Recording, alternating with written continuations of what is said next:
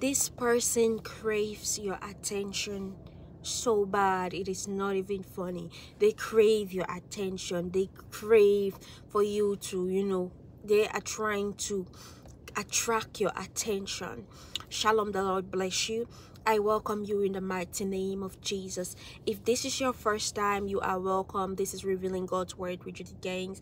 If you are here to join our amazing family, please kindly do so by hitting the subscribe button. Turn on your notification bell so whenever I post, you will be notified. Hallelujah.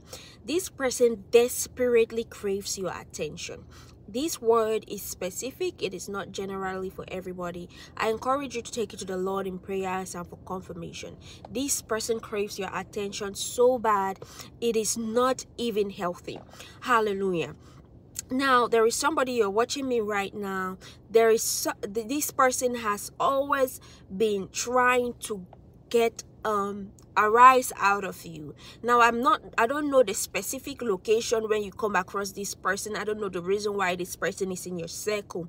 But every time this person comes near you they try to say words to get your attention. They try to say words to get a rise out of you. But you have been holding yourself together and you have been you know you have been avoiding to have problems. You have been avoiding to retaliate.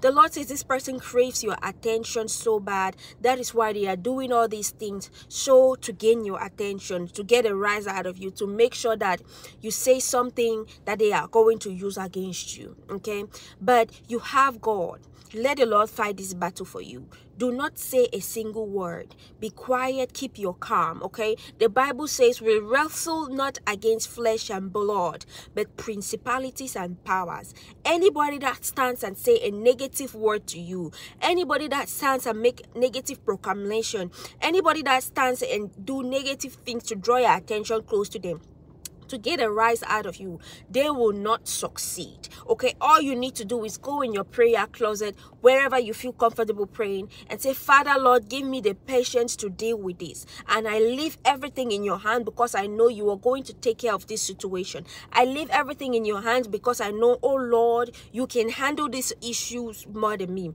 You see, oftentimes we get so aggravated by people trying to get our attention, and by the time you turn around and you retaliate, that is what they wanted to get out of you. And it might one way or the other land you in a problem that you are not supposed to be. That is why people sit and cause unnecessary arguments unnecessary fights in order to get your attention in order you know to get your attention. And when they succeed that's how that that's what makes them happy okay? But don't give them the, your time of the day. Don't give them the time of the day okay? Just leave everything for the lord to handle. If you decide to take matters into your own hand you're definitely telling god that you can handle it. You're blocking the lord from taking care of this issue for you.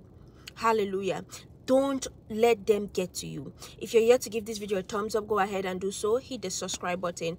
Turn on your notification bell so every time i post you will be notified. Say i rebuke any negative energy around me in jesus mighty name. Type that in the comment section. I rebuke any negative energy around me in the mighty name of jesus. I'll see you next time. Always always remain blessed. Bye bye